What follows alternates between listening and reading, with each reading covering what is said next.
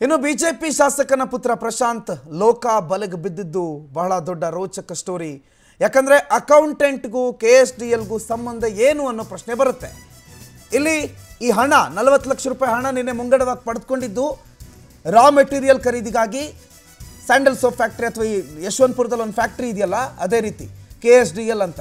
Karnataka soaps and detergent limited ಅನ್ನೋದು.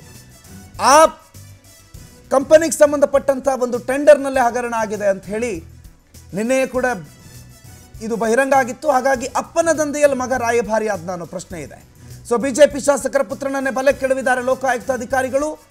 K S D ಎಲ್ನಲ್ಲಿ ಮಗನ ದರ್ಬಾರ್ ಕೂಡ ಈ ಪ್ರಕರಣದ ನಂತರ ಗೊತ್ತಾಗ್ತಾ ಇದೆ.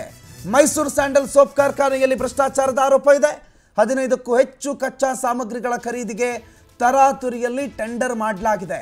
ಈ ಟೆಂಡರ್ಗಳಲ್ಲಿ ಕಮಿಷನ್ ಪಡೆಯೋದಕ್ಕೆ ಕೂಡ ಕೆ ಎಸ್ ಡಿ ಎಲ್ ಅಧ್ಯಕ್ಷರು ಮುಂದಾಗಿದ್ರು. ಯಾಕಂದರೆ ಅವಧಿ ಮುಗಿತಾ ಬಂತು. ಈ ರಾ ಮೆಟೀರಿಯಲ್ ತಂದು ತಂದು ಸ್ಟಾಕ್ ಮಾಡಿದ್ರೆ ಏನಾಗುತ್ತೆ? ಆ ಸ್ಟಾಕ್ ಮಾಡೋದ್ರಿಂದ ಒಂದಿಷ್ಟು ಹಣ ಇವ್ರಿಗೂ ಸಿಗುತ್ತೆ, ಇನ್ನೊಂದಿಷ್ಟು ಲಾಭ ಆ ಟೆಂಡರ್ ತೆಗೆದುಕೊಂಡವನಿಗೂ ಸಿಗುತ್ತೆ. ಹಾಗಾಗಿ ಈ ಟೆಂಡರ್ ಕಮಿಷನ್ ಪಡೆಯೋದಕ್ಕೋಸ್ಕರ ಅಧ್ಯಕ್ಷರು ಮುಂದಾಗಿದ್ದರು ಮಗನನ್ನು ಇಲ್ಲಿ ರಾಯಭಾರಿಯಾಗಿ ಬಳಸ್ಕೊಂಡಿದ್ರು.